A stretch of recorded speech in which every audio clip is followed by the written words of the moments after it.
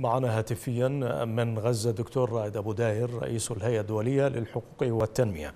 مرحبا بك دكتور رائد. إذا ترامب يهدد بقطع المساعدات عن السلطة الفلسطينية إن لم تعد إلى المفاوضات مع الاحتلال. ما تعليقك على هذا التهديد؟ يعني بداية بسم الله الرحمن الرحيم. الإدارة الأمريكية تدرك حجم الضعف الذي يعتري منظومة السلطة الفلسطينية وعلى رأسها السيد محمود عباس ولذلك أيضا البيئة العربية اليوم هي بيئة ضعيفة غير قادرة على أن تكون مساندة أو مدافعة عن القضية الفلسطينية نعم. وبالتالي هذا هذه بيئة مناسبة للولايات المتحدة والاحتلال الإسرائيلي يفرضوا شروطهم كيفما شاءوا وحيثما شاءوا وبالآلية التي يرونها مناسبة وبالتالي نحن على قناعة أن السلطة الفلسطينية ورئيسها غير قادرين على مواجهة القرار الأمريكي. وفي نفس الوقت غير قادرين على أن يتجاوزوا الدور الأمريكي في عملية من أجل ذلك ممثل منظمة التحرير الفلسطينية صرح أن ترامب قد أطاح بطاولة المفاوضات، طيب ما الخيارات اذا المتاحة لدى السلطة في ظل هذا التصريح؟ السلطة الفلسطينية لديها خيار قوي ولكنها تبتعد عنه لأنها لا تملك أن تنفذه وهو خيار فتح المواجهة الشاملة مع الاحتلال الإسرائيلي في الأراضي الفلسطينية والخارج ودعوة الشعوب العربية والإسلامية إلى محاصرة السفارات الأمريكية والإسرائيلية في كل مكان وفرض المقاطعة على الاحتلال. وكذلك يعني أن رفض اتفاقية أوسلو وقطع كل العلاقة مع الاحتلال الإسرائيلي وكذلك الطلب من جامعة الدول العربية تجريم أي نظام عربي ينشئ علاقات مع الاحتلال الإسرائيلي بشكل مباشر أو غير مباشر.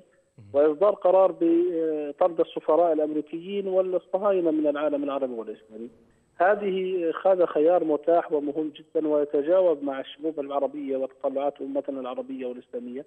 ولكن أخي الكريم السلطة الفلسطينية كباقي الأنظمة العربية هي كالرجل المخنث الذي لا يستطيع ولا يقوى على أن يتخذ أي قرار ونحن لا نتوقع أن يقوم محمود عباس بأي قرار رجولي له علاقة بأن يكون هنالك موقف سياسي تاريخي كما كان ما في عهد الرئيس أبو عمار رحمه الله الذي أخذ قرارا بعدم التوقيع والتفريط والتنازل وكان ثمن لذلك لذلك حياته وقضى إلى الله شهيدا.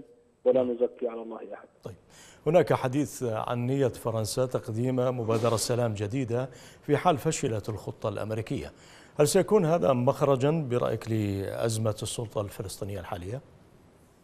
أخي الكريم فرنسا نحن نعرف الواقع في أوروبا بشكل عام وفرنسا في شكل خاص وبالتالي لابد أن ندرك جميعا أن الخيارات في أوروبا معدومة والفرنسيين وغير الفرنسيين لا يشكلوا بديلا عن الولايات المتحدة ولا يستطيع أن يكون هنالك أن يكون هنالك مبادرة تواجه مبادرة الولايات المتحدة.